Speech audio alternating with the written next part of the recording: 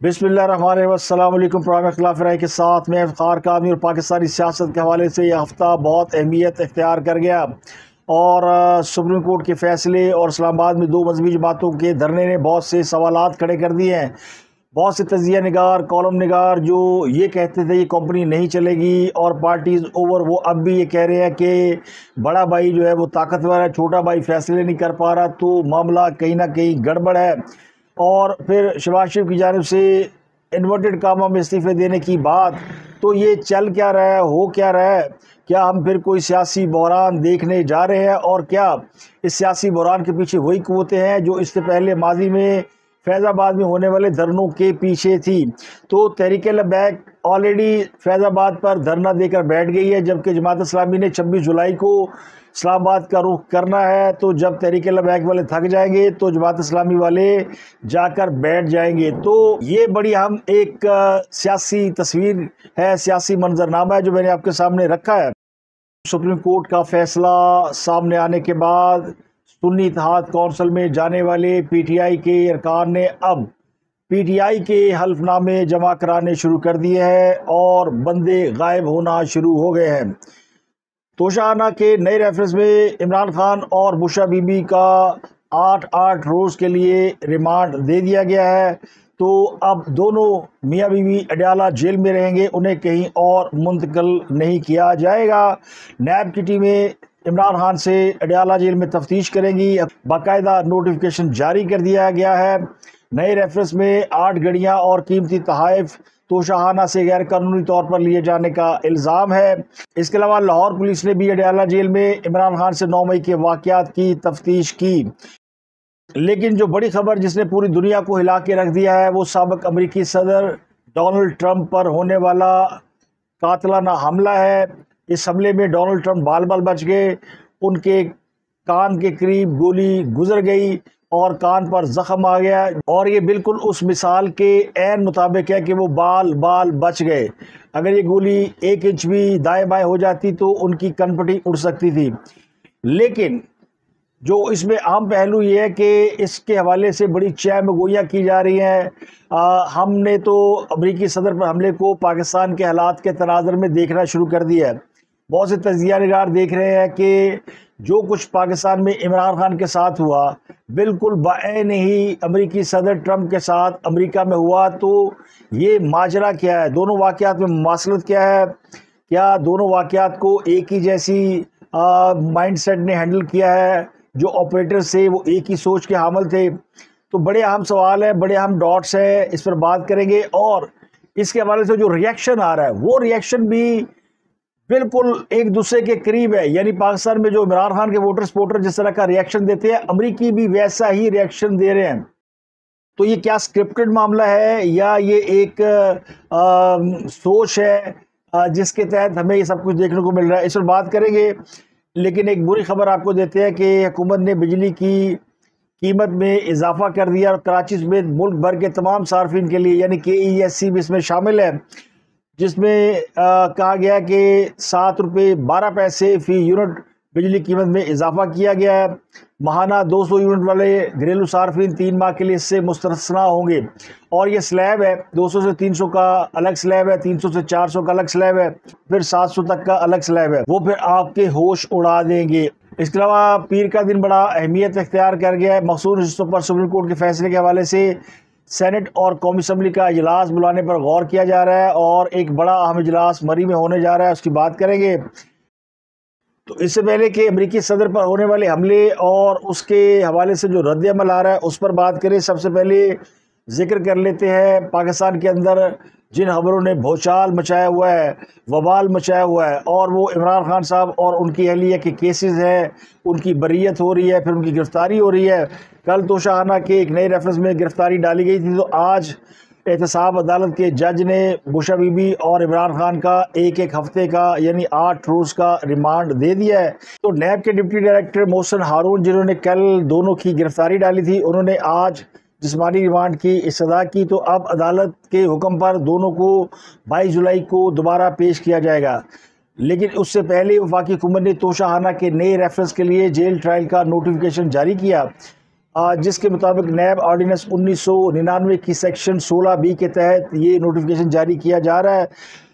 Notification کے مطابق امن و امان کی صورتحال کے پیش نظر نیب عدالت اگر ضروری سمجھتی ہے تو بانی پی ٹی آئی کا اور مشبی کا ٹرائل جیل میں کرے۔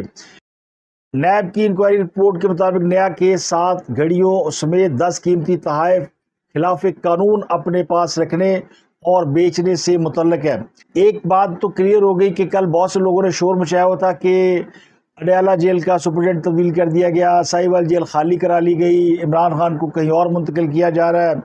اور کسی اور کو کہیں اور منتقل کیا جا رہا ہے۔ تو یہ ساری خبریں جو ہیں وہ کیا سرائیوں اور افواہوں پر مبنی تھی ان کا نوٹیفکیشن جاری ہوا ہے۔ عمران خان صاحب نہ اڈیالہ سے باہر گئے ہیں، نہ انہیں لے جایا جائے گا۔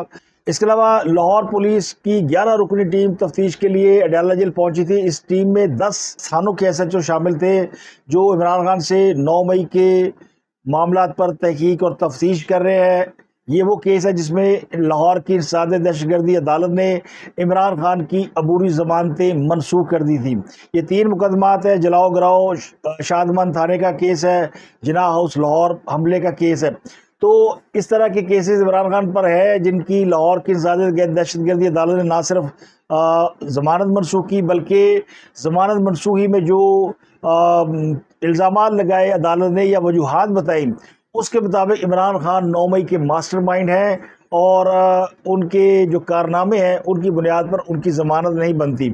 اب اس کیس کی بھی عمران خان سے آج تفتیش کی گئی ہے۔ عمران خان صاحب نے اس موقع پر گفتگو بھی کی۔ پہلے تو اس بات پر ناراض ہوئے کہ عدالت کے اندر صحافی کیوں نہیں آئے؟ بڑا شور مچایا۔ کاروائی کا بائک آؤٹ کرنے کا اعلان کیا انہوں نے کہا جی میں واک آؤٹ کر جاتا ہوں۔ جج صاحب نے بہرحال میڈیا کے نمائندوں کو اندر بلایا اور پھر اس کے بعد سماعت کا آغاز ہوا۔ ہاں صاحب روسٹم پر آ گیا انہوں نے کہا کہ جج صاحب، میری بیوی کا تو شہانہ سے کچھ لینا دینا نہیں ہے۔ بشا بیوی کو صرف مجھے اذیت پہنچانے کے لیے جیل میں ڈال رکھا ہے۔ ہاں صاحب نے کہا کہ میری بیوی کو بادشاہ سلامت ٹارگٹ کر رہے ہیں کیونکہ میں نے اس کو آئی ایس آئی کے عہدے سے ہٹایا اور میری بیوی نے اس کی سفارش نہیں کی۔ تو عمران خان صاحب کا اشارہ جو ہے وہ آرمی چیف کی طرف ہے۔ تو چند دن پہلے عمران خان صاحب نے جو پالیسی اڈاپٹ کی تھی کہ وہ آرمی کو یا آرمی چیف کو تنقید کا نشانہ نہیں بنائیں گے، وہ لگتا ہی ہوا کہ انہوں نے اب اس کو پھر تبدیل کر دیا اور اب ایک بار پھر وہ آرمی چیف کو پورد الزام ٹھہرا رہے ہیں کہ چونکہ انہوں نے ان کو ڈی جی آئی سی کے عہدے سے ہٹایا تھا۔ امریکی ریاست پنسلوینیا کے علاقے میں سابق صدر ڈونلڈ ٹرمپ ایک ریلی سے خطاب کر رہے تھے کہ جس میں ان پر فائرنگ کر دی گئی، مبینہ حملہ آور نے ان کو مارنے کی کوشش کی، گولی ڈونلڈ ٹرمپ کے کان کو چھوتی ہوئی گزر گئی۔ اس ریلی میں ڈونلڈ ٹرمپ نے اپنے نائب صدر کے امیدوار کا اعلان کرنا تھا کہ اچانک فائرنگ کی آواز آئی اور تین چار گولیاں چلی، جس کے ساتھ ہی ریلی میں خوف و راز پھیل گیا۔ اور سابق صدر جو ہے وہ سٹیج سے نیچے گر گئے، جنہیں سیکرٹ سروس کے ایجنٹوں نے فوری طور پر اپنے حصار میں لے لیا اور ان کو محفوظ مقام پر منتقل کر دیا۔ جو ویڈیوز ہم نے دیکھی، حادثے کی وہ اسی قسم کی ہیں، لیکن جو ان کے جو ادارے ہیں اور ان کا جو میڈیا، وہ یہ رپورٹ کر رہا ہے کہ فائرنگ سے ایک شخص ہلاک ہوا ہے اور حملہ آور کو بھی مار دیا گیا ہے، جبکہ کوئی ایک شخص زخمی بھی ہوا ہے۔ حملہ آور کی شناخت بیس سالہ تھامس میتھیو کروکس کے نام سے ہوئی ہے، جو پینسلوانیا کے علاقے بیٹل پارک کا رہائشی تھا۔ ٹرمپ کی اپنی پارٹی کا حامی تھا اور ایک رجسٹرڈ ووٹر تھا یعنی ریپبلکن پارٹی۔ جس کے صدارتی امیدوار ڈونلڈ ٹرمپ ہیں، اس کا یہ ممبر تھا اور وہ ریلی کے مقام سے تقریباً پانچ سو سے چھ سو فٹ کے فاصلے پر ایک چھت پر موجود تھا، جہاں سے اس نے فائرنگ کی۔ اور سیکورٹی اہلکاروں نے بعد اس کو فائرنگ کر کے ہلاک کر دیا۔ حملہ ور کی ایک ویڈیو بھی سوشل میڈیا اکاؤنٹ پر اپلوڈ ہوئی ہے۔ جو اس نے حملے سے قبل اپنے سوشل میڈیا اکاؤنٹ پر اپلوڈ کی اور کہا کہ میرا نام تھامس میتھیو کروکس ہے، میں ٹرمپ اور ان کی جماعت ریپبلکن سے نفرت کرتا ہوں۔ لیکن اس میں اس نے ٹرمپ کو مارنے کا کوئی ارادہ ظاہر نہیں کیا۔ اس معاملے میں بہت ساری کانسپریسی تھیوریز بھی سامنے آ رہی ہیں۔ لوگ ویڈیو دیکھنے کے بعد اپنی رائے کا اظہار بھی کر رہے ہیں کہ ہو کیا رہا ہے، چل کیا رہا ہے، لیکن اس میں جو سب سے پہلی بات یہ ہے، تو اگر آپ کو یاد ہو تو پاکستان میں کچھ عرصہ قبل اسی قسم کا واقعہ وزیر آباد میں پیش آیا تھا، جب عمران خان پر فائرنگ کی گئی تھی اور ان کی ٹانگوں میں مبینہ طور پر گولیاں لگی تھیں اور وہ زخمی ہو گئے تھے۔ تو اب یہ واقعہ بالکل اسی طرح کا ایک واقعہ لگتا ہے۔ اس، جب عمران خان پہ فائرنگ ہوئی، وہ زخمی ہوئے تو ان کے لیے ہمدردی کے ووٹوں میں اضافہ ہوا۔ لوگوں نے ان کو جو ہے وہ بینیفٹ آف ڈاؤٹ دیا اور وہ تیزی سے دوبارہ پاپولر ہوئے۔ عمران خان اس سے پہلے خاص سے ان پاپولر تھے جب وہ حکومت سے نکالے گئے تھے۔ لیکن اس کے بعد عمران خان ایک تو فوج پر تنقید اور دوسرا اس حملے کے بعد ان کی جو ہے وہ ساکھ کافی بہتر ہوئی، ان کے ووٹر سپورٹر میں اور ان کا ووٹ بینک جو ہے وہ بہتر ہوا۔ اب اس میں جو کچھ چیزیں ریزمبلنس ہے، لوگ بڑے پریشان ہیں۔ وہ کہتے ہیں کہ یہ شاید پاکستان کو تجربہ گاہ سمجھ لیا گیا ہے، تجربہ پاکستان میں کیا گیا ہے پریکٹیکل امریکہ میں کیا گیا ہے۔ ڈونلڈ ٹرمپ بھی اسی قسم کے یعنی مائنڈ سیٹ کے رہنما جس مائنڈ سیٹ کا عمران خان کو سمجھا جاتا ہے۔ بعض لوگ کہتے ہیں کہ ٹرمپ پر حملہ کروا کے اس کو چند دنوں میں ہونے والی سزا سے بچانے کی کوشش کی گئی ہے۔ اور اب اس الیکشن کمپین میں مظلوم بنا کر پیش کیا جائے گا۔ یہ بالکل عمران خان والا سٹائل ہے۔ اور ٹرمپ کو گولی لگنے کا ان کی پارٹی کے اندر ہی لوگ جشن بھی منا رہے ہیں اور سمجھ رہے ہیں کہ پارٹی اب الیکشن جو ہے وہ جیت جائے گی۔ اب اس حملے کے بعد میں آپ کو ریئیکشن تو بتاتا ہوں، لیکن جو موٹے موٹے پوائنٹس ہیں جو لوگ ڈسکس کر رہے ہیں، وہ یہ کہتے ہیں کہ حملے کے بعد ٹرمپ کا جو فوری ریئیکشن ہے، وہ قطعی یہ ظاہر نہیں کرتا کہ یہ حملہ جینون ہوا ہے۔ جس آدمی پر گولی چل جائے، اس کے حواس ساتھ چھوڑ جاتے ہیں اور پھر گولی لگ جائے تو بندے کی ہوا ویسے ہی نکل جاتی ہے۔ اور امیر آدمی کو ویسے ہی موت کا خوف سب سے زیادہ ہوتا ہے۔ ٹرمپ کا جو انسٹنٹ ریئیکشن ہے، ایک آپ وہ دیکھیں اور پھر جو ان کے پیچھے لوگ بیٹھے ہیں، ان کا ریئیکشن دیکھیں۔ کسی مجمع میں اگر ایک پٹاخہ بھی چل جائے تو وہ مجمع اپنے پاؤں پہ کبھی نہیں کھڑا رہتا۔ مجمع ڈسپرس ہو جاتا ہے۔ چلے آپ یہ کہہ سکتے ہیں کہ امریکن بہت بہادر ہے اور ان کو ان قسم، اس قسم کے واقعات کا پہلے بھی سامنا رہا ہے۔ اور گولی چلنے کے باوجود کسی نے اپنی سیٹ نہیں چھوڑی۔ ایک لمحے کے لیے لوگوں نے ریئیکشن دیا، سیٹوں پر کھڑے ہوئے، پھر بیٹھ گئے۔ اور اسی طرح ڈونلڈ ٹرمپ پر جب فائر چلا، تو فوری طور پر ان کا جو ہاتھ ہے، وہ ان کے کان پہ گیا۔ تو یہ بڑی حیران کن بات تھی کہ ان کو فوری طور پر یہ احساس ہوا کہ ان کے کان پر کوئی چیز لگی ہے۔ تو جس قسم کی بلٹ کا کے بارے میں بتایا جاتا ہے اگر گولی کان کے قریب سے یا کان کو چھو کر بھی گزرے تو کان کا کچھ نہ کچھ حصہ ضرور جو ہے، کیونکہ کان جو ہے وہ جسم کا سب سے نازک حصہ سمجھا جاتا ہے۔ تو اس کو اڑ جانا چاہیے تھا۔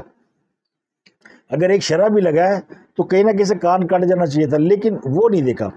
پھر آپ نے یہ دیکھا کہ جو حملہ آور ہے وہ فوری طور پر مار دیا گیا۔ اس میں دو تین چیزیں ہیں کہ کیا حملہ آور نے کوئی مزاحمت کی، وہ سرنڈر نہیں کر رہا تھا، یا وہ مزید فائر کرنا چاہتا تھا۔ ایک تو اس نے چار پانچ فائر کیے۔ اور آپ دیکھیں، اگر سامنے سے فائر ہو تو جو لوگ پیچھے بیٹھے ہیں، وہاں بھی کوئی ریئیکشن نہیں ہے کہ وہاں کوئی زخمی ہوا ہے، کسی اور کو گولی لگی ہے۔ جو ٹرمپ کے سامنے لوگ بیٹھے ہیں، وہاں بھی کوئی ریئیکشن نہیں ہے کہ وہاں گولی لگی ہو اور وہاں کسی نے مجمع میں کسی شخص کو گرتے دیکھا ہو۔ اور پھر مجمع چھوڑ کے نہیں بھاگا۔ یہ بڑی حیران کن بات ہے فائرنگ کے باوجود۔ پھر جب ڈونلڈ ٹرمپ وہ اچانک اٹھتے ہیں نیچے گرنے کے بعد نیچے کیا ہوا؟ واللہ عالم، کیونکہ ڈونلڈ ٹرمپ تھے اور اس کے بعد وہ جو محافظ ان کے قریب آئے، جنہوں نے ان کو گھیرا، ان کے علاوہ کوئی بھی ان کے قریب نہیں تھا، تو وہ حصار میں لیے ہوئے تھے۔ لیکن وہ جیسے ہی کھڑے ہوتے ہیں، تو فوراً وہ ایک ریئیکشن دیتے ہیں اور وہ اپنا مکہ لہراتے ہیں اور کہتے ہیں فائٹ فائٹ فائٹ اور یہ ان کا مکہ لہرانا اور عمران کا مکہ لہرانا یہ ایک نایاب تصویر ہے جو آپ کو بہت سارے حقائق بیان کر سکتی ہے۔ یہ آپ کو بتاتا ہے کہ ایک پاکستان میں اس قسم کا ایپیسوڈ ہوا۔ اور ایک امریکہ میں ہوا۔ تو کیا ٹرمپ نے عمران خان کو استاد مان لیا ہے یا پھر جنہوں نے بھی یہ سارا کچھ کیا ہے جو پاکستان میں کرنے والے تھے، جو وہاں کرنے والے تھے۔ اب بعض لوگ کہتے ہیں کہ جنسیوں کا کام ہوتا ہے جنسیوں کا طریقہ کار تقریباً ایک ہی ہوتا ہے۔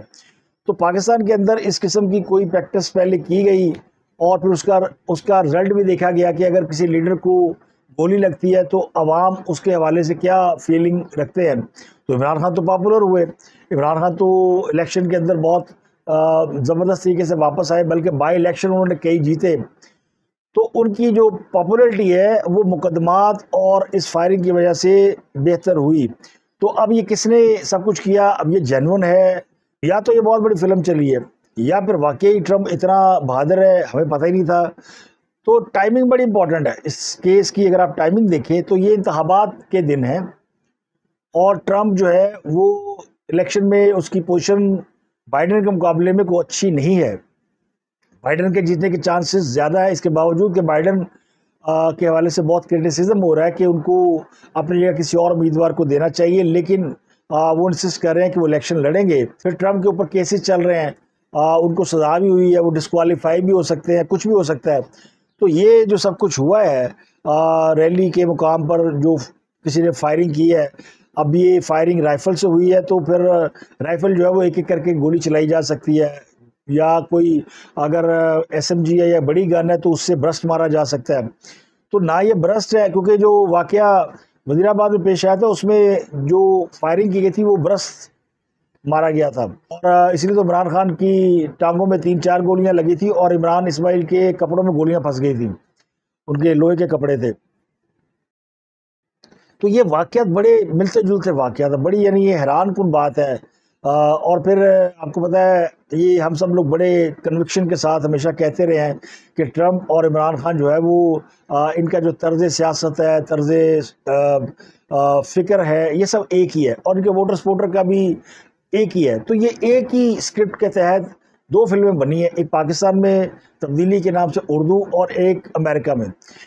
تو اب چونکہ الیکشن کا ٹائم ہے، اب جو بائیڈن حکومت ہے، وہ انویسٹیگیٹ بھی اگر کرے گی تو اس کو ٹائم لگنا ہے۔ اگر وہ یہ کہے یہ ڈرامہ ہے تو یہ لوگ نہیں مانیں گے کیونکہ بائیڈن تو مخالفین میں سے آ گیا بائیڈن اب یعنی سمجھ لے کہ وہ سیریمونیل صدر رہ گیا کیونکہ اب الیکشن ہونے ہیں۔ تو یہ بڑا صحیح ٹائم تھا اس قسم کے واقعے کے لیے اور اس کی انویسٹیگیشن تو ظاہر ہوگی۔ اب یہ جو ان کے لوگ ہیں، ان کی بھی سوچ ایک جیسی ہے۔ عمران خان کے ووٹر سپورٹر کہتے ہیں کہ جی یہ جو عمران خان کے خلاف سب کچھ ہو رہا ہے، یہ اسٹیبلشمنٹ کرا رہی ہے۔ تو امریکن بھی یہی کہہ رہے ہیں کہ اس کے پیچھے سی آئی اے ایف بی آئی اور ڈیپ اسٹیٹ یعنی اسٹیبلشمنٹ اس کے پیچھے ہے۔ یہ ٹرمپ کو پاور میں نہیں دیکھنا چاہتے۔ اور جو کامن جملہ ہے، وہ یہ کہہ رہے کہ ان کو پتہ ہے کہ جب ٹرمپ اقتدار میں آ گیا تو انہیں بہت رلائے گا۔ اور یہاں پہ ہمارے اہل یوتھ بھی یہی کہتے ہیں کہ عمران خان نے کیا سینا میں بڑا رلاؤں گا؟ خود عمران خان بھی کہتے رہتے، میں ان کو بڑا رلاؤں گا۔ ویسے تو ابھی وہ آج کل خود رو رہے ہیں، لیکن یہ جملہ ان کا بڑا مشہور ہے کہ میں سب کو رلاؤں گا۔ تو اب اگر یہ جینون اٹیک ہے یا ڈرامہ ہے یا یہ پلانڈ ہے، کیونکہ ٹرمپ بھی ایکٹر ہے، اس کا، اس کو جانچنے کا وقت گزر گیا ہے۔ کیونکہ یہ اس وقت ووٹرز کو جو ایک ووٹر ہوتا ہے جو جسے ہم کہتے ہیں سلیپنگ ووٹر یہ خاموش ووٹ ہوتا ہے۔ اس کو کوئی نہ کوئی چاہیے ہوتی ہے بات کسی طرف جانے کے لیے۔ وہ سمجھتا کہ بھی ٹھیک ہے بھی ٹھیک ہے۔ لیکن وہ ڈیسائیڈ نہیں کر پا رہا تھا کس طرف جانا؟ تو کوئی ایک ایسی چیز کی جاتی ہے جس سے اس کا جو رجحان ہے وہ اس طرف ہو جاتا ہے۔ تو مثلا اگر یہ پتہ چل جائے کہ بائیڈن کے لوگوں نے یا بائیڈن نے ٹرمپ کو مروانے کی سازش کی ہے تو ڈیفینیٹلی لوگ پھر ٹرمپ کی طرف جائیں گے کہیں گے، یار بائیڈن نے بڑی زیادتی کی، ٹرمپ کے تو معصوم آدمی ہے، اس کے ساتھ تو ظلم ہو گیا۔ تو پاکستان میں بھی یہی ہوا ہے اور جناب وہاں بھی یہی ہوا ہے۔ تو دے لو، پاکستان، اس لیے اب کہتے ہیں کہ پاکستان گوروں کی تجربہ کہا ہے اور آج سے نہیں تو سالوں سے ہے تو ٹرمپ والوں نے یہاں تجربہ کیا۔ اگلی خبر مقصود نشستوں کے حوالے سے سپریم کورٹ کے فیصلے کے تناظر میں حکومت اور سیٹ اگلی خبر مقصود نشستوں کے حوالے سے سپریم کورٹ کے فیصلے کے تناظر میں حکومت نے سینٹ اور قومی اسمبلی اجلاس بلانے پر غور کیا ہے۔ پیر کو نواز شریف کی زیر صدارت مسلم لیگ نون کا ایک بڑا اجلاس ہے، جس میں تمام ان کی جو ہائی کمان ہے وہ شرکت کر رہی ہے۔ پھر یہ جو فیصلہ ہوا ہے، اس کے اوپر پارلیمنٹ کے اندر بحث بھی کرانے کا۔ تو مسلم لیگ نون نے تو سارے ارکان پارلیمنٹ کو کہہ دیا کہ جناب آپ سارے سلامت پہنچ جائیں۔ اور پیر کے روز اسلام آباد میں خاصی گہما گہمی رہے گی، عدالتی فیصلے پر بحث ہوگی۔ اور نظر ثانی اپیل میں جانے سے پہلے پارلیمنٹ کے پلیٹ فارم سے ایک باقاعدہ اسٹریٹجی طے کی جائے گی۔ تو اب میں وہ ٹائمنگ کے حوالے سے بات کر رہا تھا کہ ٹائمنگ بڑی امپورٹنٹ ہوتی ہے۔ اب پاکستان میں بھی ٹائمنگ کے حوالے سے بڑی ایک امپورٹنٹ چیز سامنے آئی ہے، جس میں سپریم کورٹ جو ہے، اس نے مخصوص نشستیں تحریک انصاف کو دے دی یعنی فیصلہ حکومت کے خلاف گیا۔ ایک مذہبی جماعت اسلام آباد میں فیض آباد کے مقام پر دھرنا دیے بیٹھی ہے اور حکومت سے ایسے مطالبات کر رہی ہے جو شاید حکومت کے بس میں نہیں کہ وہ سارے مطالبات کو تسلیم کرے۔ لیکن وہ بیٹھے ہیں۔ اور ایک اور جماعت بھی جس نے بارہ جولائی کو دھرنے کا اعلان کیا ہوا تھا، لیکن باوجود وہ یہ دھرنا تھوڑا سا آگے لے گئے ہیں۔ اب وہ چھبیس کو پہنچیں گے اسلام آباد وہ ہے جماعت اسلامی۔ تو دو مذہبی اور سیاسی جماعتوں کا اسلام آباد میں ان حالات میں دھرنا دینا اور سپریم کورٹ کا عمران خان کے پیچھے کھڑے ہو جانا، یہ بہت ساری چیزوں کی طرف اشارہ کر رہا ہے اور بہت سارے لوگ اس کے اوپر کوشچن کھڑا کر رہے ہیں، ریز کر رہے ہیں کہ کیا حکومت اور اسٹیبلشمنٹ کے مابین کوئی کھٹپٹ ہو گئی ہے۔ کیونکہ دھرنے وغیرہ جو ہے یہ ماضی میں تو اسٹیبلشمنٹ کراتی رہی ہے۔ اور جو اس وقت کی سٹنگ اسٹیبلشمنٹ تھی، جو یعنی فوج کی قیادت تھی وہ اس میں انوالو رہی ہے۔ لیکن اب فوجی قیادت تو اس میں انوالو نظر نہیں آتی۔ تو پھر یہ سب کچھ کیوں اور کیسے ہو رہا ہے؟ بظاہر تو ابھی تک فوج اور حکومت ایک پیج پر ہے اور جو ان کے مخالفین ہیں، ان کے ساتھ ان کے کوئی راز و نیاز یا کوئی ایکٹیویٹی بھی نظر نہیں آتی۔ تو پھر یہ سب کچھ کیوں ہو رہا ہے اور کیا ہو رہا ہے؟ تحریک البیک کا جو دھرنا ہے، وہ وہ ایک خالصاً ان کا ایک مذہبی پوائنٹ آف ویو ہوتا ہے جس کے تحت وہ دھرنا دیتے ہیں۔ اب جو انہوں نے دھرنا دیا ہے، وہ اسرائیلی جاریت کے خلاف مارچ تھا، جس کو انہوں نے دھرنے میں تبدیل کیا۔ پہلے یہ مارچ کر کر رہے تھے، لیکن مارچ کرتے کرتے جا کے بیٹھ گئے فیض آباد۔ ان کا یہ کہنا ہے کہ ایک تو اسرائیلی مصنوعات کا بائیکاٹ کیا جائے سرکاری سطح پر، اور دوسرا نتن یاہو کو سرکاری سطح پر دہشت گرد قرار دیا جائے اور فلسطین تک طبی اور غذائی امداد پہنچائی جائے۔ کیا یہ اتفاق ہے کہ عمران خان کے حوالے سے فیصلہ آنے کے بعد اچانک ایسا ہو جانا کہ کوئی دھرنا لے کر آ جائے، جب کسی کوئی باقاعدہ نہ پلاننگ تھی، نہ اطلاع تھی۔ تو دھرنا تو جماعت اسلامی نے لانا تھا۔ تو جب جماعت اسلامی نے دھرنے کی ڈیٹ تبدیل کی، تو تحریک لبیک اس کو ریپلیس کر گئی۔ تو یہ ہے، وہ بڑا امپورٹنٹ معاملہ، جس کی وجہ سے لوگ کہتے ہیں کہ اس کے پیچھے وہی ہے جنہوں نے پہلے فیض آباد دھرنا کرایا تھا۔ اور وہی لوگ سپریم کورٹ کے فیصلے کے پیچھے بھی ہیں، جنہوں نے کچھ ججوں کی سفارشیں کر کے انہیں اپ لفٹ کرایا تھا۔ تو جو اس وقت وردی پہنے ہوئے تھے، وہ آج کل وردی میں نہیں ہیں، لیکن وہ آج بھی اتنے ہی انفلوئنشل نظر آتے ہیں کہ وہ کہیں نہ کہیں جو ہے وہ مد و جذر پیدا کر سکتے ہیں۔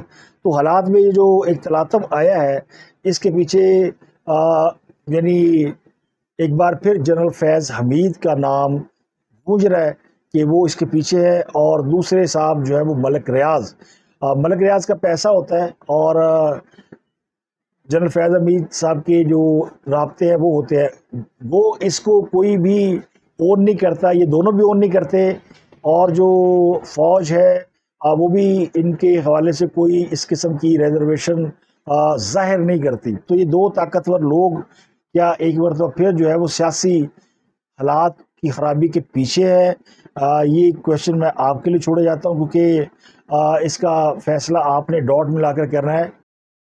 فلور بل ایسوسیشن اور حکومت کے درمیان جو آٹے کے معاملے پر اور ٹیکس کے معاملے پر ڈیڈ لاک چل رہا تھا جس کے نتیجے میں فلور مل مالکان نے ہڑتال کر رکھی تھی۔ اب وہ ڈیڈ لاک ختم ہو گیا ہے اور یہ جو ہڑتال ہے، اس کو دس روز کے لیے مؤخر کر دیا گیا ہے۔ ایف آئی اے کے نئے مقدمے میں گرفتار پاکستان تحریک انصاف کی خاتون، کارکن اور سوشل ورکر سنم جوید کے جسمانی ریمانڈ کے استدعا پر فیصلہ سنا دیا ہے اور ان کے خلاف ایف آئی اے کا مقدمہ خارج کر دیا ہے۔